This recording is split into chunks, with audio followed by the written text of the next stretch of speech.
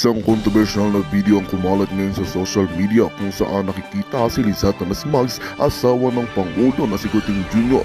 kasama umano'y kabit niya. Ayon sa mga netizens, ang naturang video ay nagpapakita ng kanilang malapit na ugnayan na nagdudulot ng matinding reaksyon mula sa publiko. Patuloy namang iniimbestigahan kung lehitimo ang nasabing video at kung sino ang nagpakalat nito. Samantala, mas lumala pa ang sitwasyon matapos lumabas sa mga balitang benenta umano ni Pangulong Kuting ang kanyang asawa kapalit ng droga. Bagamat walang kumpirmadong ebidensya, ang mga akusasyon na ito ay kinagulat ng marami at ikinabahala ng mga sumusuporta sa administrasyon.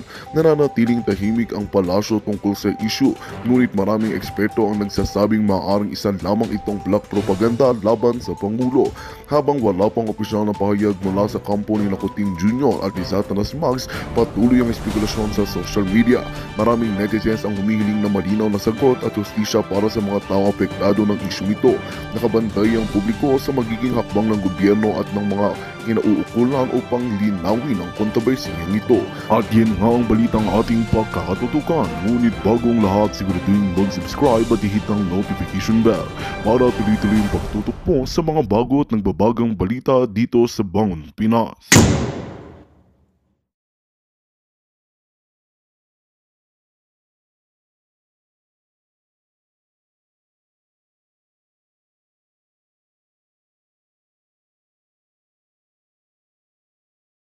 Mo pag tumakbo ka. Ah, ah, pag tumakbo ka, okay. Ano dapat yung karakter at saka personalidad ng isang um, politician or um, uh, isang Well, Pilipino na tatakbo bilang politiko? Ano yung dapat? Kung ikaw, boboto ka, ano yung mga ideal na ano mo? of Ideal course, na... honest, di ba? Sabi pa ulit-ulit ko sinasabi, meron kang compassion sa tao. Nararamdaman mo yung pangangailangan ng taong bayan. That's why you Mm. have to, ch- you want to change their, ano, their uh, social status from poor to at least uh, middle class. Yun yung mga ideals ng isang politiko dapat, which is hindi nga naga, nangyayari dahil ang inaatupag nila kung paano sila makanakaw at paano sila makapag-flaunt ng mga designers. That's why napag-usapan natin to mga designers na to. 'Di ba? Oo. I believe the same thing, 'di ba, sa akin na ganun din yung mga yung personal ah, yung intention mo to change Oo. the future of the Filipino people. More than the the the vanity, right? Parties, 'di ba? Yeah. Nasisira kasi sis yung ano, yung um yung kanilang ano na nga, yung kanilang supposedly mission at saka vision, 'di ba? Para anong dahilan ng kanilang pag, pagtakbo kasi nga pag nandun ka na sa paligid, ano na sila, sama-sama na sila, may sarili na silang bubble. Tapos ang pinakamasama, yung ah, ang nakakalungkot is yung kunwari, pag nag-umpisa kang mainggit at maikumpara mo yung sarili mo sa kasama mo. Ibig sabihin sa akin kasi, hindi ka pwedeng maging um, polit- politiko o leader ng ating bansa kung ikaw ay hindi confident sa iyong personal na pagkatao. Para kailangan hindi ka marunong, hindi ka mainggit, kailangan hindi, hindi mo i-compare kung ano yung kakulangan mo sa iba. Kasi kaya nga magkakaiba yung personalidad natin, magkakaiba ang mga, mga Aha. Pangalan. Diba? So dapat yun nga. Sa umpisa, ah, gusto nila sasabihin mga ngako sila sa mga mamamayang Pilipino sa bansa na eto po ang gagawin ko, may transparency, honesty, may prinsipyo, may integridad. Pero pag Hechos, nandiyan, hechos. opo, kapag nandiyan na, nasisira, nawawala. Kasi nga, yun sana yon Sana, kung boboto tayo, yan ang tingnan nyo. Anong nangyari dun sa mga binoto natin? Tingnan nyo Yeah. yung after. Anong pinagbago? From ugali to lifestyle Lifestyle, yes.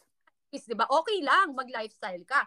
Kung you Mhm. came from a family, galing ka sa mayamang pamilya, kung Yeah. ikaw, bago ka tumakbo at umupo or umupo sa anumang posisyon sa gobyerno, ikaw ay ano na, ah, ano yung may pera na. Hindi natin, wala namang problema yon Buhay mo yan, pera mo yan. Pero yung bigla kang nagbago after mong umupo, na Two tapos years. wala After two years.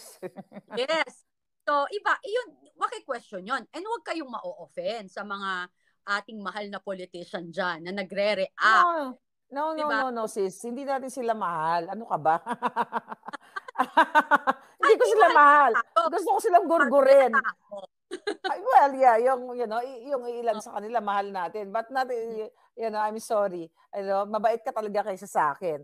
So, you know, you talk about ideals, of course, lagi natin yeah. sinasabi na equality of life, Mm-mm. affordable healthcare, eh, you know, mm. magagandang, yun, yun, the, the common things na naririnig natin. Yun nga lang, eh, talagang itong mga jutang genimis na mga politicians, eh, talagang makakapal ang muka. So, moving forward, okay, mm. moving forward, uh, si Sara, si Inday Sara, Vice President Sara Duterte, ay uh, nagbisita uh, sa uh, kay uh, sa INC, sa leader ng INC. Eto na ba sa tingin mo? Ano yung ano mo, yung nung nabasa mo yung balita or nakita mo, eto na ba? Ito ba yung hudyat na may mga malaking magaganap sa mga susunod na mga araw? What do you think?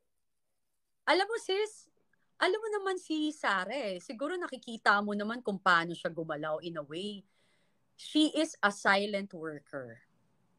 You know, ano siya, hindi siya katulad ng karamihan dyan na ang dadal, mm-hmm. ang daming sinasabi.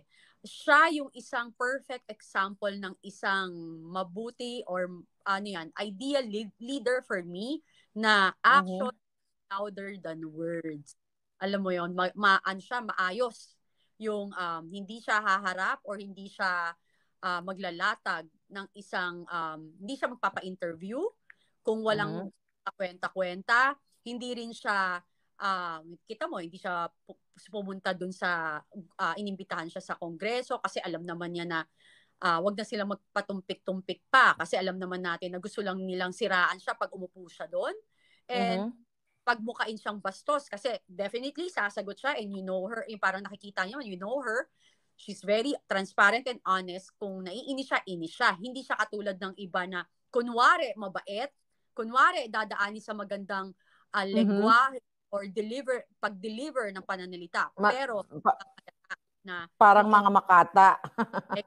parang katulad kay Kilay, 'di ba si Kilay? Oo. So, 'Di ba? Para makata lang. Yeah.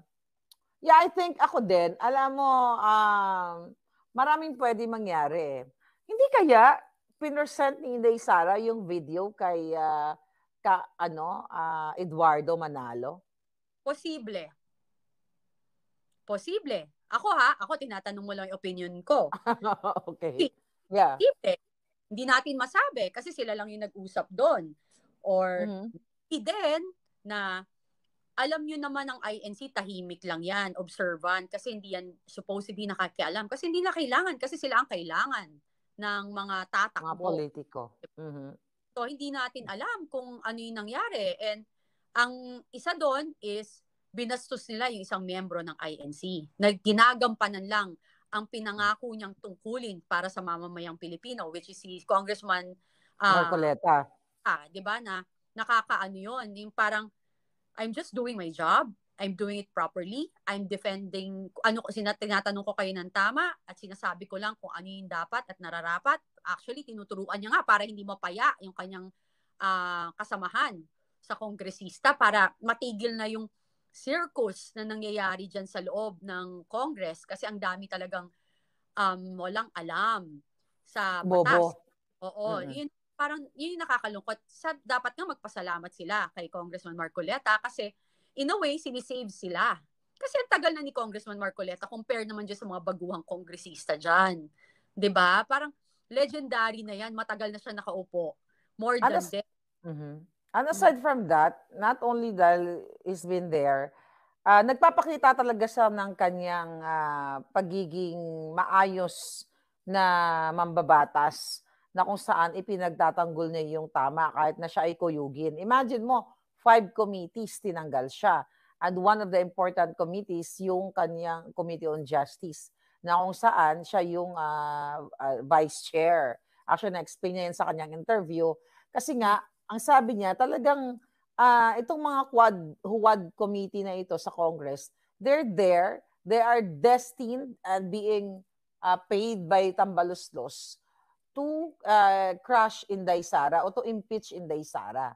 So, mm-hmm. yun ang pinalawanag ni Kong Marcoleta. Kaya nga sabi ko, nung, nung uh, you know, nakita ako sa page somewhere na si Inday ay bumisita sa INC, eh baka, you know, eto na yon At actually, may mga messages na ako na, na natatanggap na umiikot na raw ang tumbong ni yung BFF mo natin, si Bangag.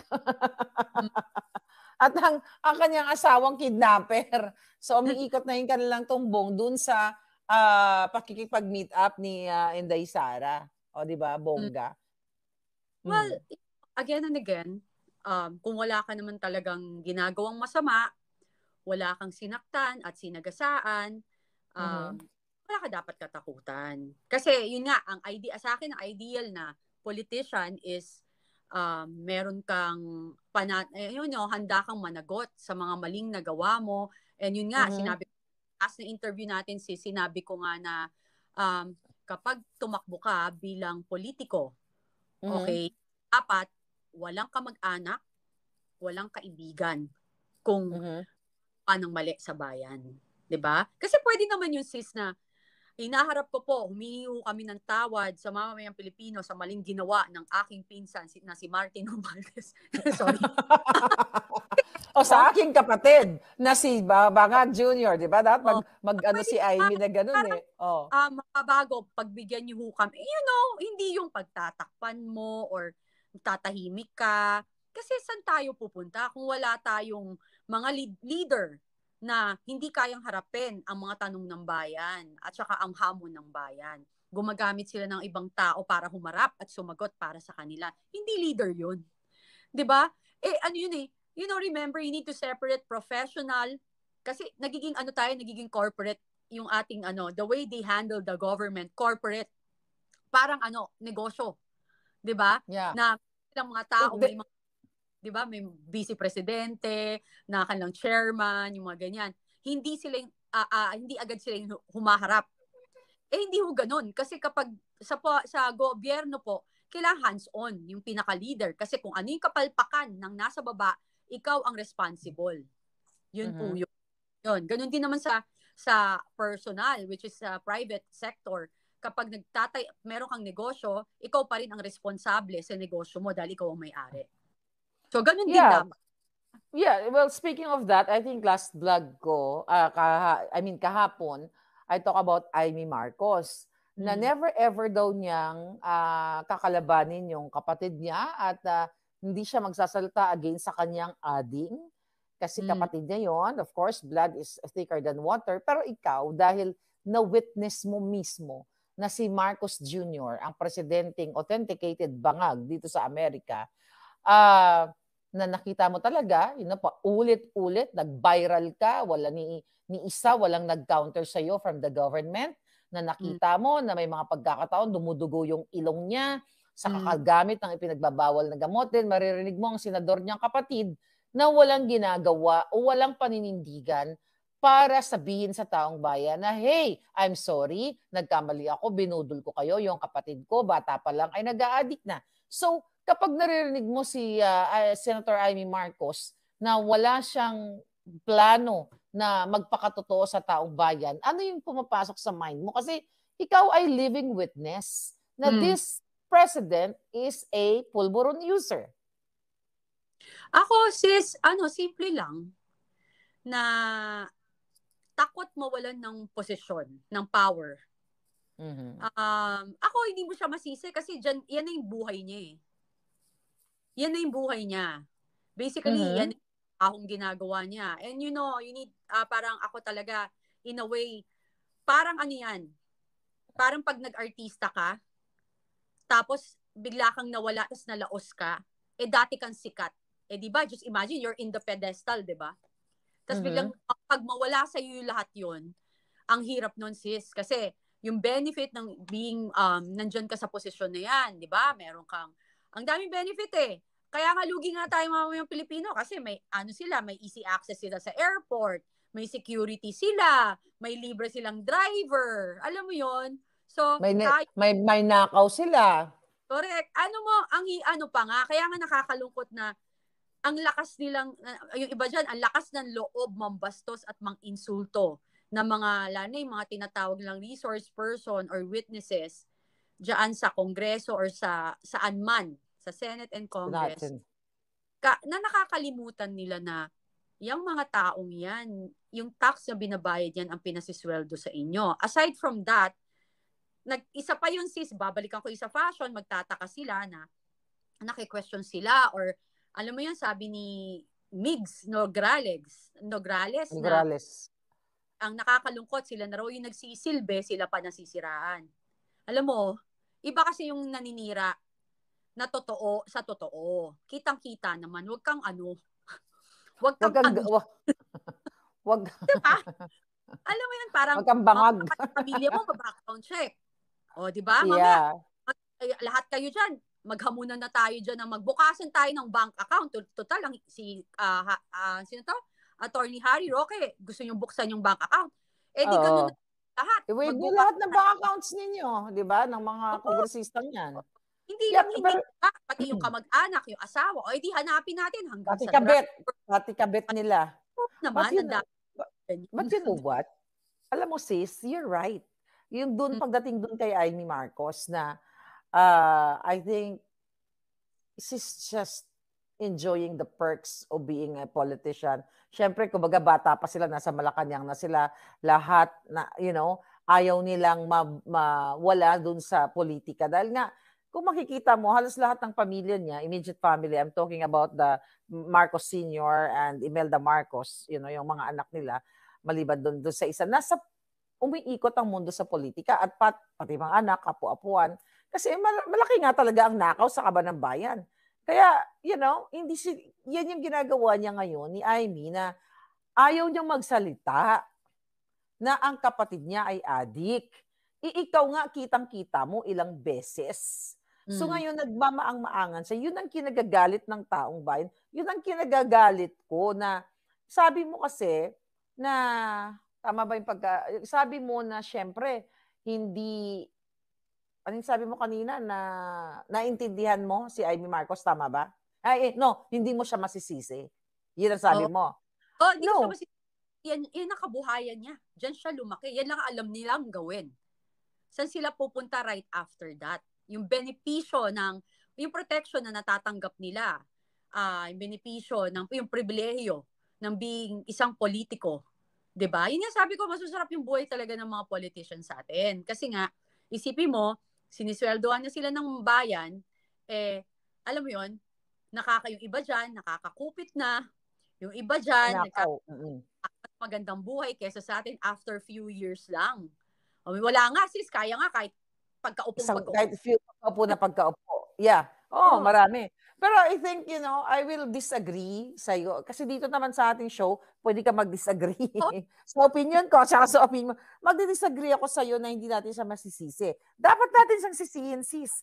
Kasi ang ang ang, ang at stake di ang ang ang nagre-risk ng kinabukasan dito ng buhay eh mamamayang Pilipino. Siguro, uh, you're trying na ang, ang alam ko kung ano ibig mong sabihin eh Hmm. na hindi mo siya masisisi kasi kapatid niya yung bangag. Kaya hindi talaga siya magsasalita, right? Oh, tsaka hindi mo siya masisisi sis, kasi yun nga yung yung point ko na ba't hindi mo siya masisisi all her life. Parang an, yan ang buhay nila. Polit polit polit ano? Politics. Politics. So, Yeah. anong gagawin mo after? Parang kung ako yan, 'di ba? Mag Kung ako, ano, mag mag- mag fing mag sorry sis, ah, mag finger shot, sorry. di ba? Hindi, meron naman siyang jowa, di ba? Alam mo ba na may jowa si Amy? hindi ko alam sis. Oh, nahuli ka sa chika. Tata napawala ng jowa. Nawala, may jowa siya si Mark Chua na na-contempt ng, la- I think, 2017, 2018. Mm. So, hindi niya kailangan mag-finger lick and good. no, kasi your question is, ano gagawin nila after politics? Oh, that was a joke, you know, mag-finger. Pero dahil may partner siya, na na Let's lighten up the, the conversation para naman hindi ako laging galit. Di ba? Anyway, Oo. may comment dyan. May Mhm. comment si Loy, Loy Bernabe, tatawid na si Inday at ang mga DDS sa Rubicon River. O, di ba? Parang Mm. yun ang yun ang analysis niya sa pag pag, pag uh, visit ni Inday sa INC. So Mhm. ito na ba ay tata- tatawid na ba sa Rubicon River? We'll see. Malay mo, sabi nga ni Cathy, baka pinakita na yung video, eh baka kuman, mag, you know, you don't know. We can only, we can only hope and pray. Yes. And Yun, speculate. opinion yung Yeah. Tip. Okay. Dahil this is a light ano discussion, hindi galit si Maharlika, magpapa magpapakyut lang tayong dalawa dito. O eto na nga. Eto na nga, Madam. Cathy Mm. B, ito mga mga tumatakbo katulad nitong mga ah, influencer. Oh. Ah, ay, no, no, no. Bago ako pumunta sa mga influencer, we'll talk about that value added tax. oh, so, yeah. Ah, 'di ba yung, yung 12%, balikan natin 'yon. Yung 12% na idadagdag sa mga digital services katulad ngayon panonood mo ng Netflix, Mm. Google, YouTube, what you know, mga mga ganong mga serbisyo sa online. And syempre apektado dito ang mga vloggers o mga content creators na sumusweldo o kumikita ng 3 million in a year. And they are uh, obliged to pay, Pay. at uh, 12% ano uh, value added tax on top of the income tax. Kasi kung ito lang yung income mo, 3 million a year, so you pay like 20% of it, then another 12% value added tax yung recent nga na uh, law na na-ratify at pinirmahan ni Bangag. So, Mm. pabor ka ba dito? Kung ikaw ay content creator, pa, ah, kung ikaw ay content creator and making 3 million uh, U, ah, not US pesos a year, pabor ka ba na dadagdagan ang ang ah, dito sa value added tax na to? Ako hindi nga content creator, ayoko na eh. Kasi anong point? Hindi ko mag-gets yung point. Hindi, sabi nila they need one, one something 109 billion ah, sa 2025 para daw makapag ah, maibigay ang mga healthcare services, road, bridges, chuchu, Pamimigay ng ano, pang-ayuda nila. So, para makaipon. pangbayad, pang pangbayad sa bo, pambili ng boto. o tapos, binenta nyo yung gold. O, nasa na yung pera? You know, Mm. if, if you ask me kung pabor ako dito, alam mo somehow, kung mapupunta sa mga good projects ng Pilipino, Mm. yung ito yung makakapagpaunlad, makikita mo yung tangible effect talaga Mm. nitong value added tax na ito. Why not? Di ba? Oo. Kahit 50% pa ng income ko, ng let's say 10 million ang income ko, 5 million ang papunta sa government. Tapos makikita mo talagang ang Pilipinas level up, di ba?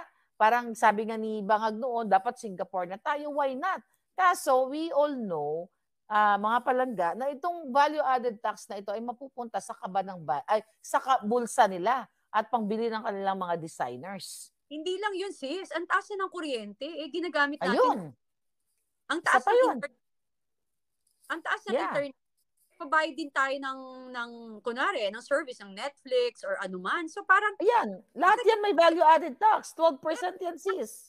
may tax din yun, sis eh. Di ba? Yung internet mo, Kaya nga, tax. on top of that, another value added tax. Kaya nga, nakakagigil.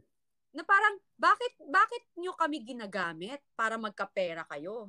Alam mo yon parang, wag nyo na kaming, ah, pagainin nyo muna, okay lang yan kapag magaan na yung buhay ng mamamayang Pilipino. 'Di ba Parang ba't sa amin? O siguro sa inyo maliit yun kasi ang laki nyo kumita. 'di ba At Kaya saka, nga. hindi nyo pinagpapaguran yung pera. Di ba? Eh, Katulad namin, nagpapagod kami para kumita ng pera. So, wag nyong ano, parang sa akin nonsense, hindi needed now. Kasi nga, again, yung internet, bayad naman yan. Yung kuryente, binabayaran yan. So, bakit ka mag-add ng ganyan pa? 'Di ba So, Yeah. for me, mali. Well, alam naman natin na mapupunta yan sa offshore accounts nila at sa Correct. mga nakaw ng mga jutang ginimes na mga politiko na yan. Anyway, basahin natin ang ah, magbasa tayo sis ng comment. Si. Mayo Sunyo, wow, nagpunta si Inday, VP Sara sa INC parang hamon sa mga CBCP na sobrang tahimik sa pulburon addiction ni President at mga nasa paligid niya. Tama, di ba? Mm-mm. Sabi ni Anaceta Watson, double taxation. Yeah, parang gano'n na nga. Over, Mm. parang sobrang taxation. Not double, sobra-sobrang taxation. Correct. Eh, sabi ni The Wanderer, nanakawin lang din naman nila ang koleksyon sa tax yan, mga magnanakaw. um, sabi ni ano ni Game Fun, only internet nga sa TNT, one month 600 na. P-O-T-A talaga. Hindi ko Jutang. Jutang. Ako na lang. Puta talaga. Ay, nako. Sabi ni The Wanderer, hindi pa siya nakontento, pati taong bayan talagang pinahirapan nila. Yun na nga.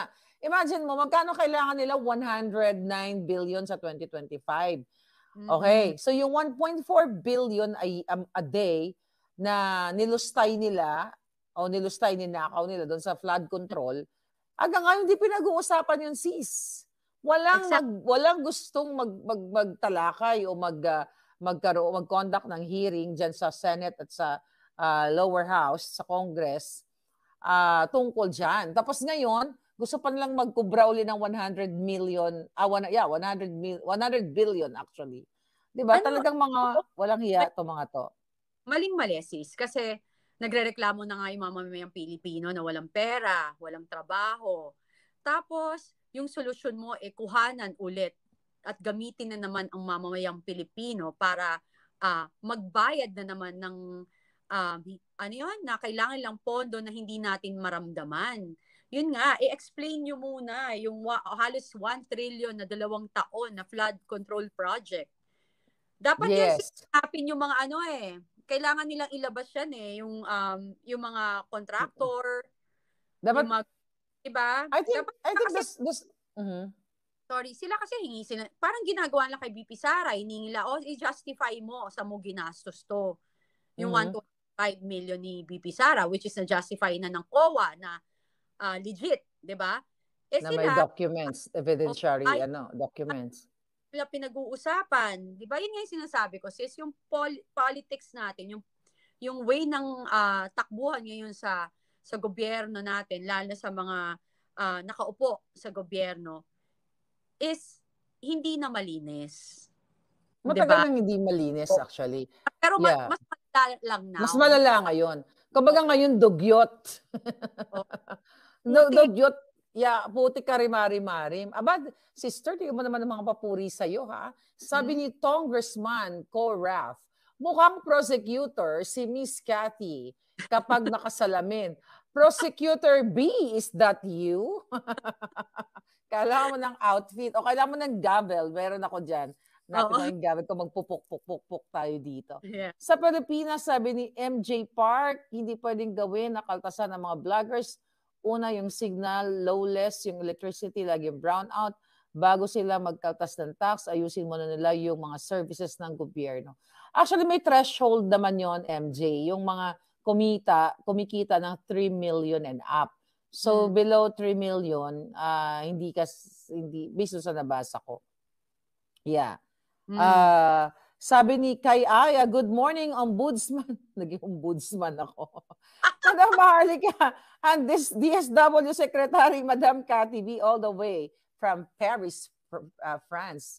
Sis, kung ikaw ang DSWD Secretary, eto naman, since mga comment ito, mm. at impromptu ito mga katanungan, yeah. uh, kung ikaw ay DSWD Secretary, sa mga pangyayaring iyong araw, ang pag-uulat nito ay nagtatapos na. Naway nagbigay ito ng karagdagang kaalaman at pag-unawa sa mga pangyayari sa ating lipunan.